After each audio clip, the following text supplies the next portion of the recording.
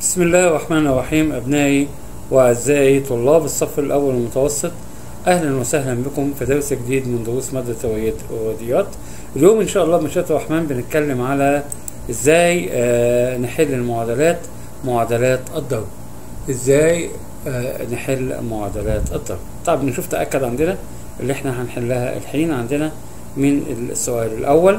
تأكد. بيقول لك حل كل معادلة وتحقق من صحة حلك. 6 ج بتساوي 18 إحنا قلنا يا شباب على طول مباشرة 6 ضرب ج يبقى أنا هقسم الطرف الأيمن على 6 والطرف الأيسر على 6 الستة تحذف مع الستة يطلع ج بتساوي 3 مظبوط. طيب عايزين واحد تاني؟ فهد يحل لنا المعادلة ديت. 15 بتساوي 3 عين.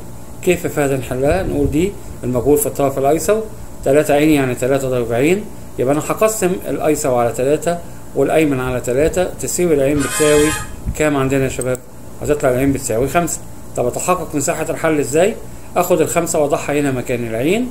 3 ضرب 5 يساوي عندنا 15 إجابة مظبوطة. طيب نشوف مثال كمان عندنا. مثلا طالب طلال يحل لنا ديت. سالب 8 س تساوي 24 إيه معنى يا طلال سالب 8 س معناها سالب 8 ضرب س برافو عليك طيب هقسم هنا على سالب 8 الطرف الأيمن وأقسم الطرف الأيسر على سالب 8 س والس بتساوي 24 تقسيم سالب 8 سالب 3 طب صحة الحل أبتدي أتحقق منه إن أنا أضع مكان الس سالب 3 أضربها في السالب 8 يطلع الإجابة معايا فعلا ب 24 فقرة تانية هيحلها لنا الطالب مازن. سالب 9 لام تساوي سالب 36 المجهول في الطرف الأيمن سالب 9 لام يعني سالب 9 ضرب لام. هقسم الأيمن على سالب 9 الأيسر على سالب 9 تطلع اللام معايا بتساوي 4 ما تنساش إن سالب على سالب فيها الموجب تمام؟ يبقى 6 سالب 36 تقسيم سالب 9 يطلع موجب 4 ولو ضربت 4 في سالب 9 فعلا تطلع الإجابة معانا سالب 36 طيب الطالب مازن يحل لنا السؤال ده. يتقاضى جميل 15 ريال في الساعة الواحدة.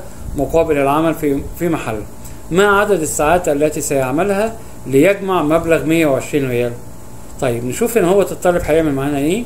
هيفترض إن عدد الساعات اسمها س مظبوط كده. وتبقى 15 ريال في الساعة الواحدة يعني 15 ضرب س تساوي 120 بالظبط كده. هقسم الطرف الأيمن والطرف الأيسر وكل طرف منهم هقسمه على 15 هتطلع الس معانا بتساوي 120 تقسيم 15 تساوي 8 ويبقى عدد الساعات اللي يحتاجها جميل 8 ساعات. شاكر جدا لحسن استماعكم والسلام عليكم ورحمة الله وبركاته.